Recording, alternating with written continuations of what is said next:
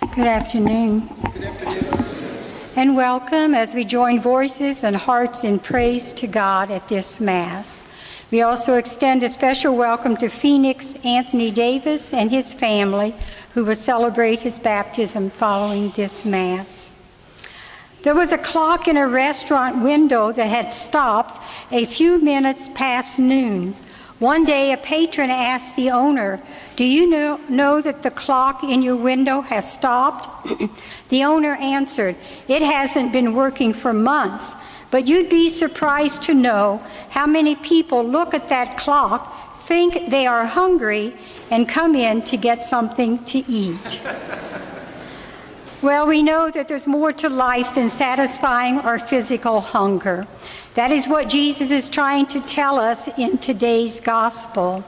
They were content in having their stomachs filled. That's why he said to them, You are not looking for me because you have seen signs, but because you have eaten your fill of the loaves. The people wanted only what they wanted and not what Jesus wanted to give them. In our relationship with God, we must ask ourselves, are we interested in only getting only in getting what God wants to give us or, or what we want? Notice um, we have to be willing to work for what God wants for us. And notice the word work. God cannot save us if we are too lazy or too busy or too indifferent to do our part. It requires work on our part, and maybe that's why you are here tonight. We are remembering and praying for Tony Wagner at this Mass, and tomorrow we pray for Ada Meister. Our sanctuary light will burn in memory of Andrew Neese. Our blood drive is this uh, coming Tuesday from 12 noon until 6 p.m. At 6 p.m., our Finance Committee members will meet in the St. Francis room for their meeting. On Wednesday, our ladies have a meeting also at 6 p.m. in the parish hall. And lastly, Adoration of the Blessed Sacrament is this Friday morning from 8 until noon. Let us now turn our thoughts towards St. Joseph and ask his intercession. Your response is pray for us. Saint Joseph, minister of salvation. Pray for us. Saint Joseph, patron of the poor. Pray for us. Saint Joseph, glory of family life. Pray for us. Saint Joseph, most obedient. Pray for us. Saint Joseph, provider of the Son of God. Pray for us. Saint Joseph, zealous defender of Christ. Pray for us. Saint Joseph, may we strive to be like you and always do God's holy will. We ask this in Jesus' name. Amen. Please rise. Our opening song is number 325 in your songbook, I Am the Bread of Life.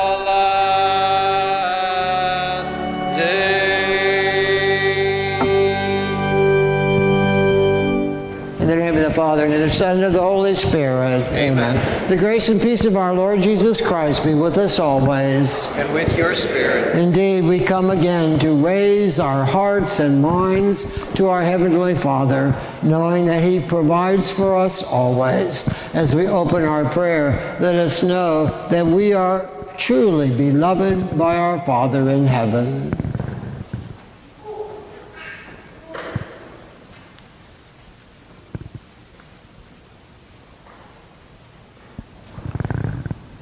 Lord Jesus, you came to show us the great works of our Father in heaven. Lord, have mercy. Lord, have mercy. Lord Jesus, help us to follow you, to bring good to each other. Christ, have mercy. Christ, have mercy. Lord Jesus, fill us with your strength. Lord, have mercy. Lord, have mercy. May Almighty God have mercy on us, forgive us our sins, and bring us to life everlasting. Amen.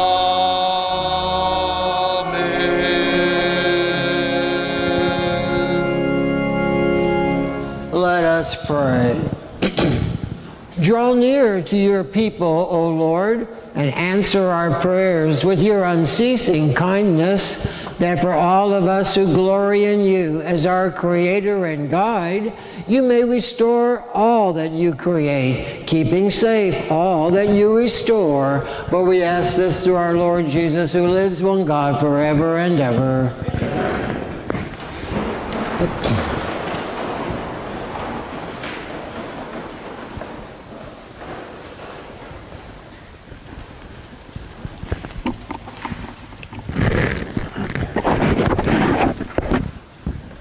Reading from the book of Exodus. The whole Israelite community grumbled against Moses and Aaron. The Israelites said to them, Would that we had died at the Lord's hand in the land of Egypt, as we sat by our flesh pots and ate our fill of bread. But you had to lead us into this desert to make the whole community die of famine. Then the Lord said to Moses, I will now rain down bread from heaven for you. Each day the people are to go out and gather their daily portion. Thus I will test them to see whether they follow my instructions or not. I have gathered the grumbling, I have heard the grumbling of the Israelites. Tell them, in the evening twilight you shall eat flesh, and in the morning you shall have your fill of bread, so that you may know that I, the Lord am your God. In the evening, quail came up and covered the camp. In the morning, a dew lay all about the camp. And when the dew evaporated, there on the surface of the desert were fine flakes like hoarfrost on the ground. On seeing it, the Israelites asked one another, What is this? For they did not know what it was. But Moses told them, This is the bread that the Lord has given you to eat. The word of the Lord.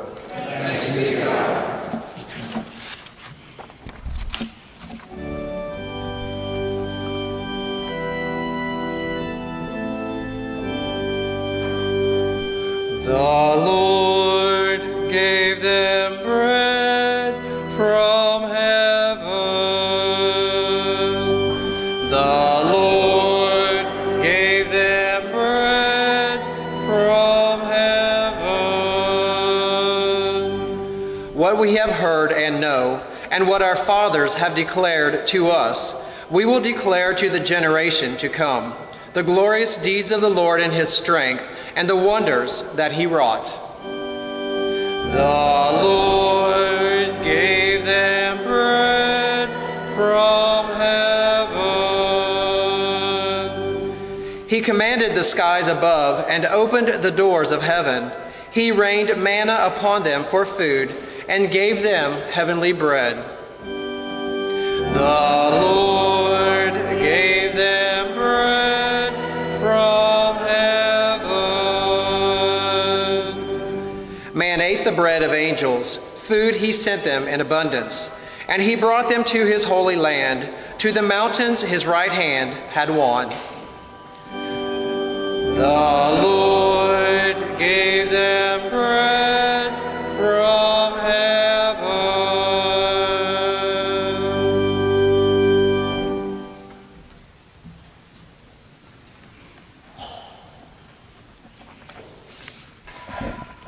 reading from the letter of St. Paul to the Ephesians. Brothers and sisters, I declare and testify in the Lord that you must no longer live as the Gentiles do, in the futility of their minds. That is not how you learn Christ, assuming that you have heard of him and were taught in him as truth is in Jesus. That you should put away the old self of your former way of life, corrupted through deceitful desires and be renewed in the spirit of your minds, and put on the new self, created in God's way, in righteousness and holiness of truth. The word of the Lord. Alleluia,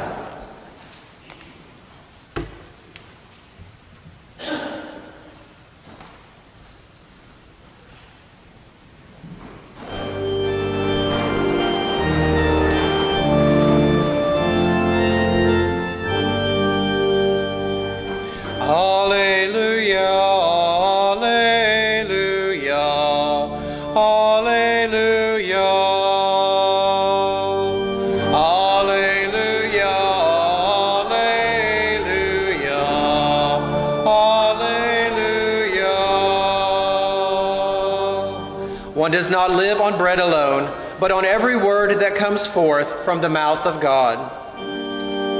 Alleluia, alleluia, alleluia.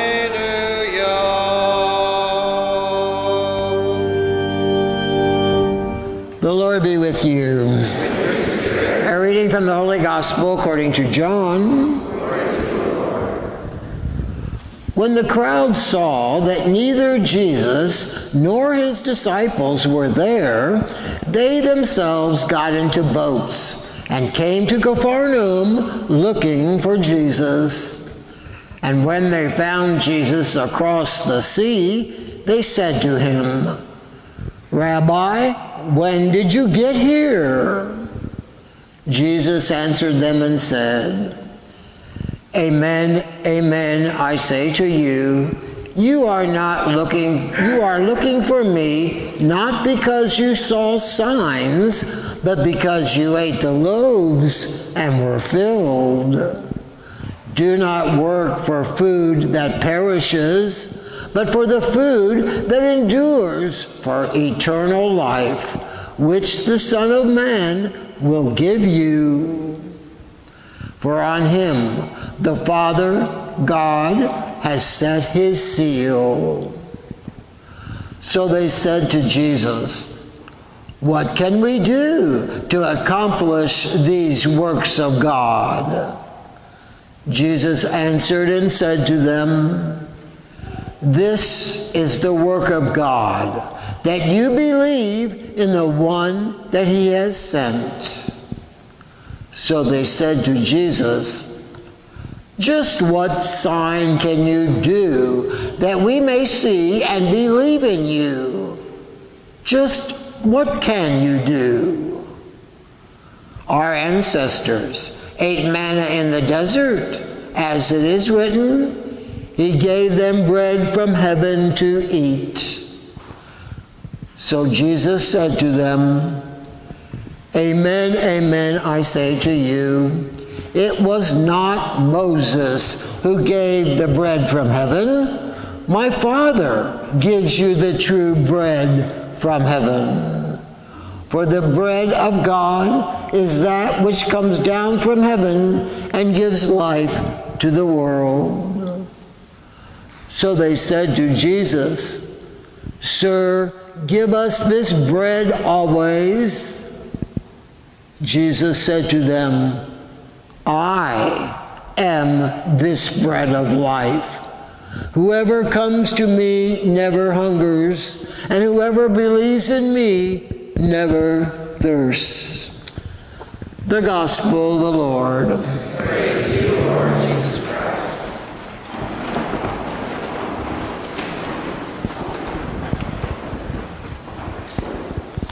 I am this bread. These words are from our gospel this evening. In the name of the Father, and of the Son, and of the Holy Spirit. Amen.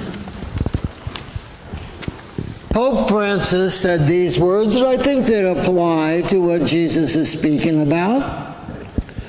My choices, including those related to my day to day aspects of life, are related to a spirit that responds to a need that arises from looking at things, at people, and from reading the signs of the times, looking to the Lord to guide me in his way of governing.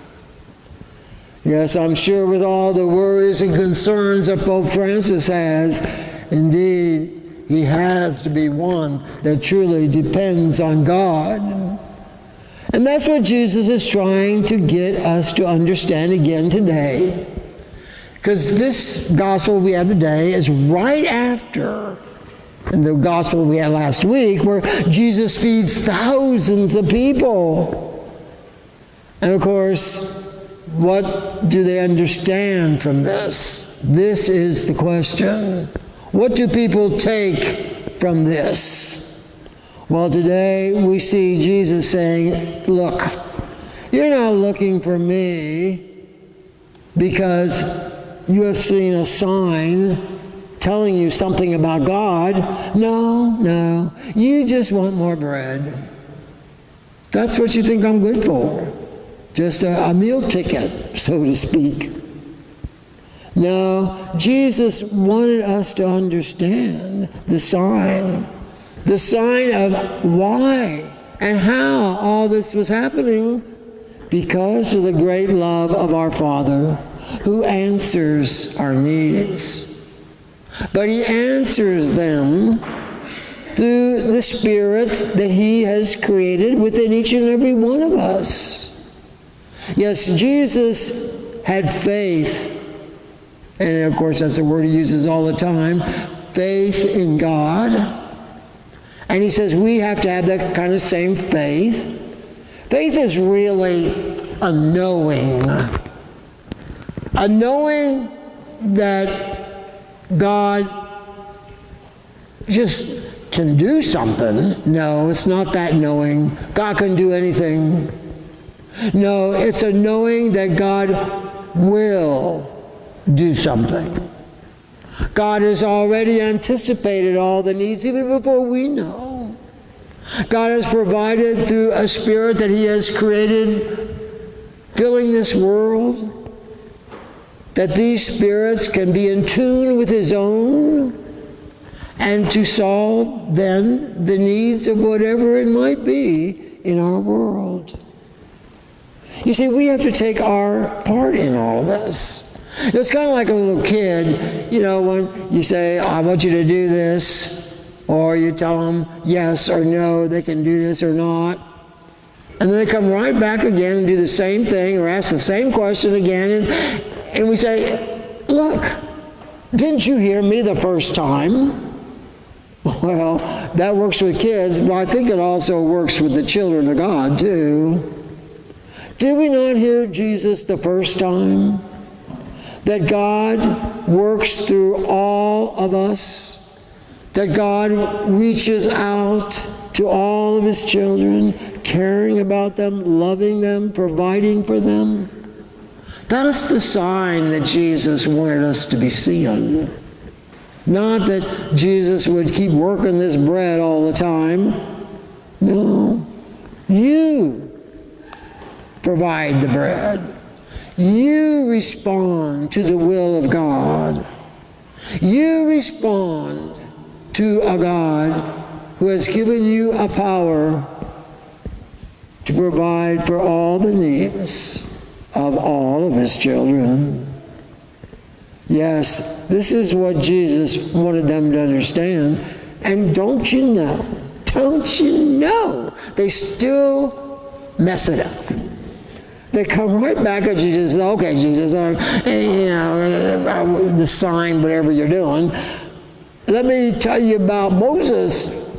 Moses gave people his bread from heaven. Now you better best be getting about giving your bread too.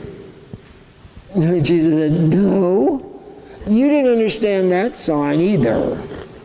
It was God who gave that bread from heaven. And when God gives that bread, so he was giving through me, but because it was my faith and trust that I will do whatever I could, gather a few fish and bread, and God will take care of the rest which he did. And we all must take our part in bringing about the greatness of God for everyone in our world. How many needs are there of people? How many people wake up in the morning just wondering where their next meal is going to be? Should we just say, okay, God, do something about this? God said, well, what about you? What part do you got in all this? And maybe I don't have to do so much because I already took care of this by creating you. Maybe you can provide for all of this. And then we can say, like Jesus did, I am this bread that came down from heaven. In the name of the Father, to the Son, and of the Holy Spirit. Amen.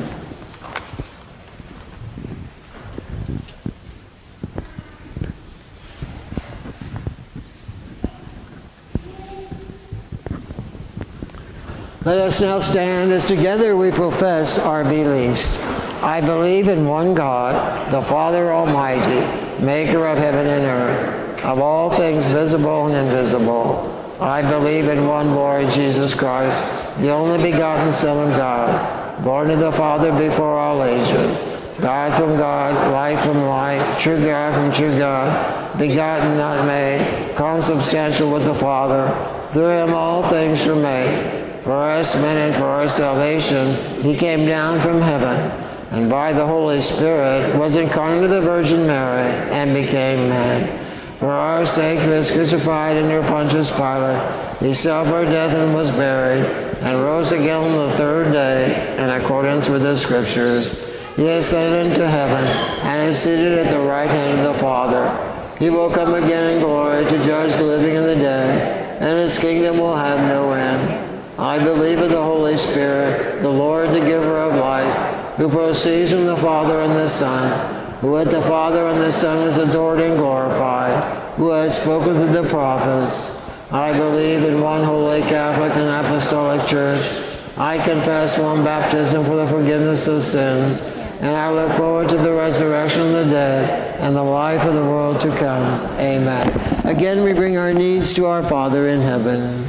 For the church, may it seek to satisfy the deepest longings of Christians who hunger and thirst for Christ. We pray to the Lord. Lord, hear our prayer. For business and government leaders, may they strive to alleviate the hunger and needs of the poor, refugees, and victims of war. We pray to the Lord. Lord, hear our prayer. For the gift of peace, may God end the violence in our cities and bring forth peace so that all can live in safety. We pray to the Lord. Lord, hear our prayer. For all who are participating in the Olympics, may God protect them from harm and help them to use their gift fully for God's glory. We pray to the Lord. Lord, hear our prayer. For all who are suffering, may God be their source of strength. We pray to the Lord. Lord, hear our prayer. For us, for the grace to be satisfied and appreciate all the blessings that God has given us, we pray to the Lord. Lord, hear our prayer. For all who have died, especially Walter Hermish, Tony Wagner, and Ada Meister, may they receive their eternal reward in heaven. We pray to the Lord. Lord, hear our prayer. For our personal intentions.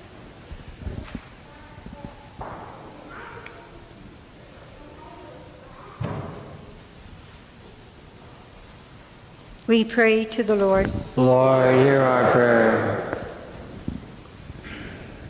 God our Father, may the greatness of your power ever work through all the good that we try to do for one another, for indeed you call upon us to bring your love for our world forever and ever. Amen. Our offertory song is number 423 in your songbook, Canticle of the Sun.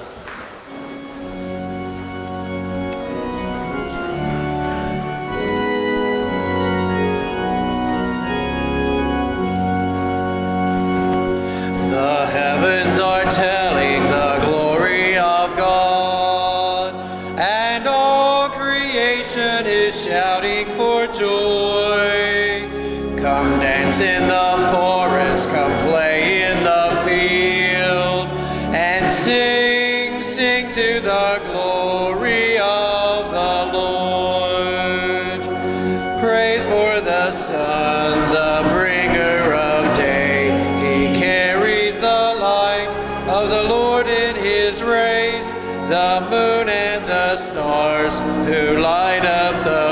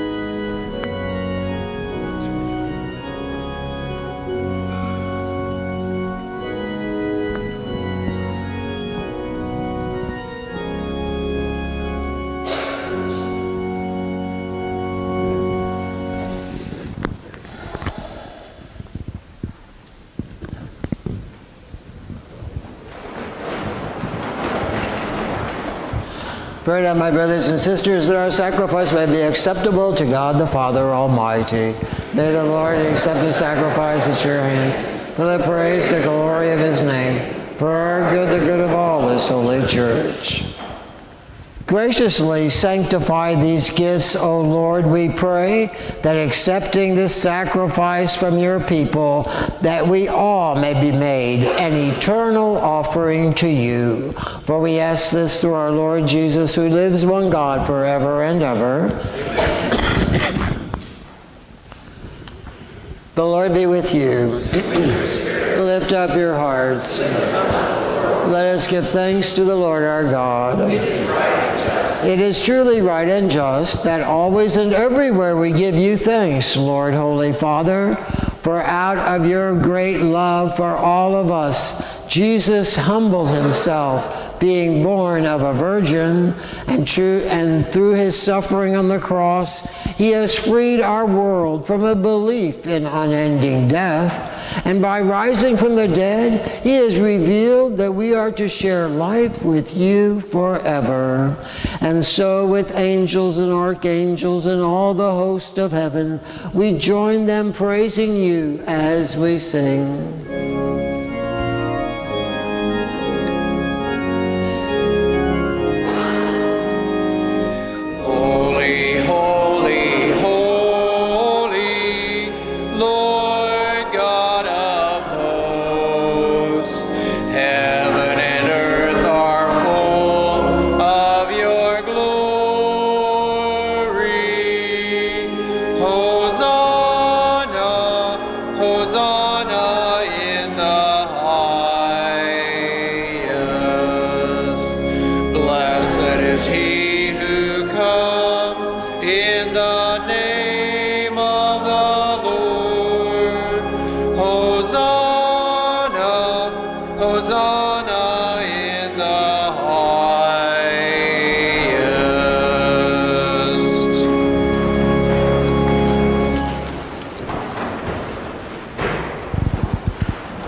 You are indeed holy, O Lord, and all you create rightly gives you praise. For through Jesus, by the power and working of your Spirit, you have given life to all things. And now you call us to be holy, for you never cease to gather each of us to yourself.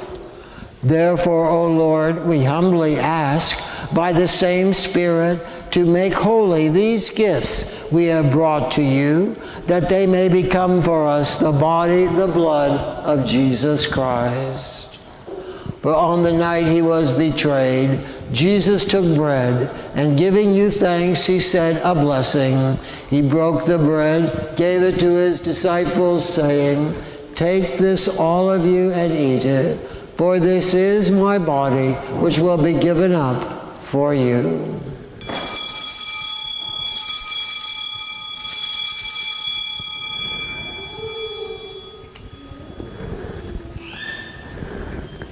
In a similar way, when supper was ended, Jesus took the chalice, and giving you thanks, he said a blessing. He gave the chalice to his disciples, saying, Take this, all of you, and drink from it. For this is the chalice of my blood, the blood of the new eternal covenant, which will be poured out for you and for many for the forgiveness of sins. Do this in memory of me.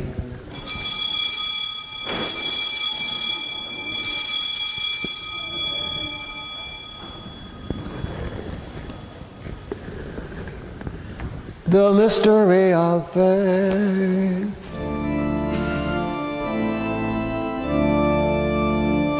We proclaim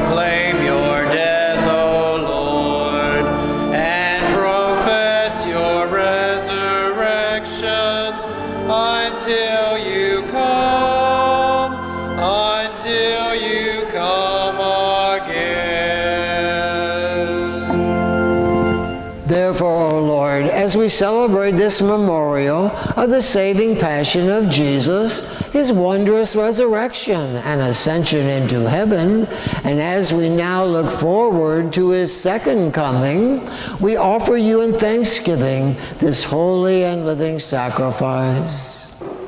Look, we pray upon the sacrifice of your church as we once again recognize the very sacrifice of Jesus for us all.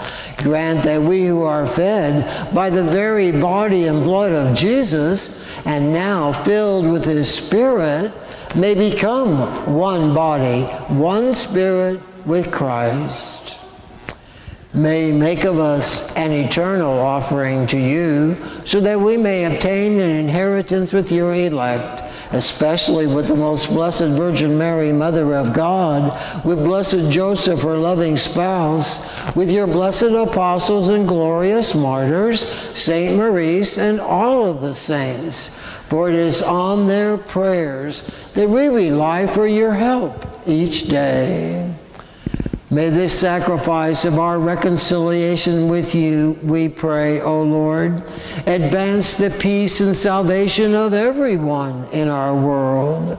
Be pleased to confirm in faith and charity your church here on this earth with your servant Francis our Pope, Charles our Bishop, and all the people you gain for your own. Listen graciously to the prayers of this family gathered here today, whom you have called before you.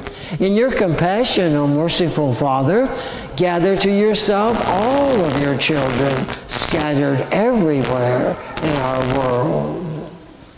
To our departed brothers and sisters, and to all who were pleasing to you at their passing from this life, we ask that you give their spirit kind admittance to your kingdom. For there we all hope to enjoy forever the fullness of your glory through Christ our Lord, surrounded by the light and love of Jesus, knowing the goodness of our Father forever through him and with him and in him, O God Almighty Father, in the unity of the Holy Spirit, all glory, all honor is yours forever and ever.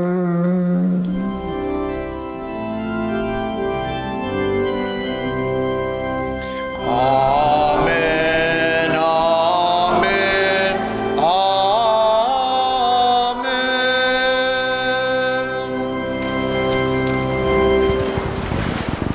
Once again, the sign of our daily bread takes this form in a prayer that Jesus himself has given us. Our Father, who art in heaven, hallowed be thy name. Thy kingdom come, thy will be done, on earth as it is in heaven. Give us this day our daily bread, and forgive us our trespasses, as we forgive those who trespass against us. And lead us not into temptation, but deliver us from evil. Deliver us, Lord, we pray, from every evil. Graciously grant peace in our days, that by the help of your mercy we may be always free from sin, safe from every distress, as we await the blessed hope, the coming again of our Savior Jesus Christ. For the kingdom, the power, the glory are yours now and forever. Lord Jesus Christ, you said to your apostles, Peace I leave you, my peace I give you. Look not on our sins, but on the faith of all in your church. Graciously grant us peace and unity in accordance with your will, for you live and reign forever and ever. The peace of the Lord be with you always. With your spirit. As our will ever becomes one with the will of our Father, so we can bring his lasting peace for our world. Maybe a little sign of peace.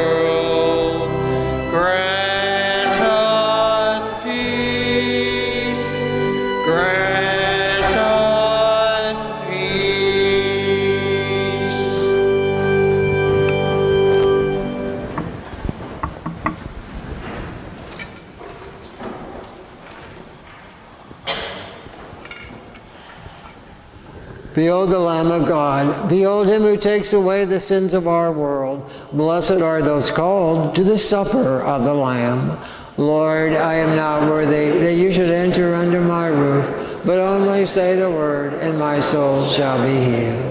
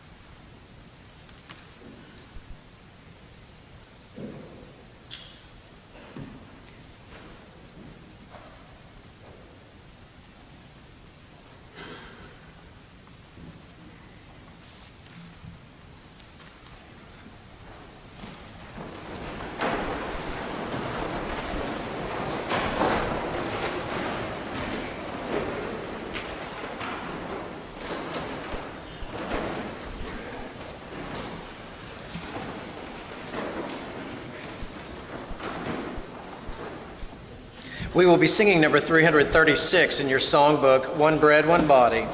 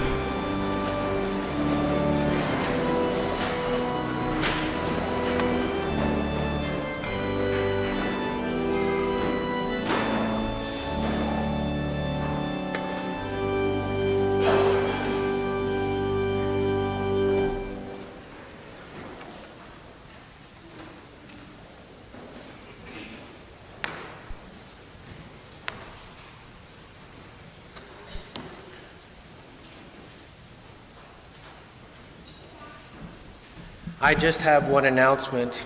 Sister, would you like to stand up? I don't know if you saw it on the sign, but and maybe heard about it, but she celebrated her Diamond Jubilee this past week, and she was recognized over at Oldenburg. And that's 60 years of service and dedication to the Lord and to the church. And we have been blessed. Is it 10 years you've been here? We celebrated right after you. 12th. Okay, so we celebrated shortly after she came. I remember that. So, but we've been blessed for the last 12 years to have her ministering among us. So we would just like to say congratulations and um, many more.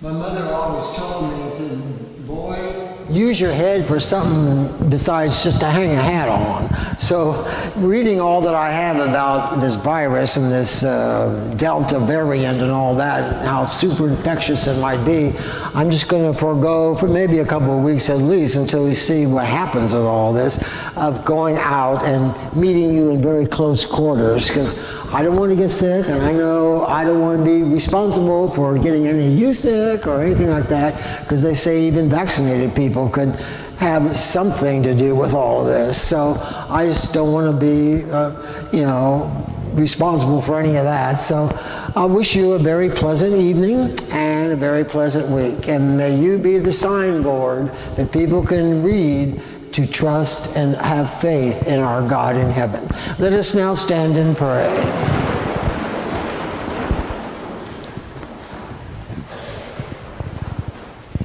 Accompany all of us with your constant protection, O God, for you have renewed us with heavenly gifts. In your never failing care for each of us, make us all worthy to know our life with you forever and ever. Amen. The Lord be with you. And may Almighty God bless you in the name of the Father, and of the Son, and of the Holy Spirit. Go in peace. Thanks, be to God. Our closing song is number 420 in your songbook, Sing a New Church.